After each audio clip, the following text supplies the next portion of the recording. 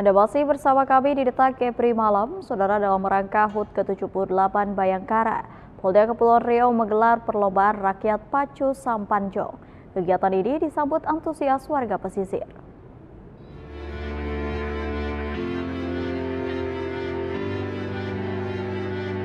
Sebarak menyambut HUT ke-78 Bayangkara, Polda Kepulauan Riau terus menggelar berbagai macam kegiatan di tengah masyarakat.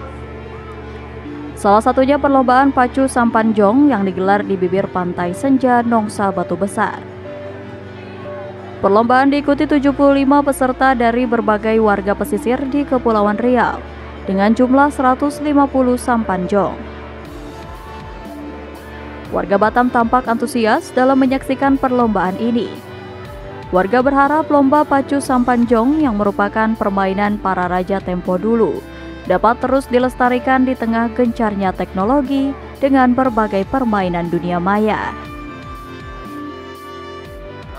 Kegiatan ini uh, sebenarnya uh, kegiatan tahunan dan uh, pesertanya dari semua masyarakat uh, dari pulau-pulau yang ada di kawasan Kepri di kampung-kampung tua masyarakat Melayu semua mengikuti kegiatan uh, lomba perahu jong yang diadakan uh, Polda Kepri.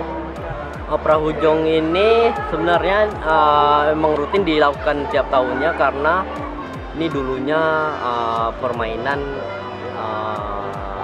raja-raja uh, uh, Melayu yang hanya dilakukan kawasan kampung-kampung tua. Namun sekarang dijadikan uh, perlombaan agar uh, jong-jong ini tetap uh, lestari. Lomba pacu sampanjong ini memperebutkan piala Kapolda Kepri serta berbagai macam hadiah lainnya dan sejumlah uang pembinaan. Dang Kurnia melaporkan dari Batam.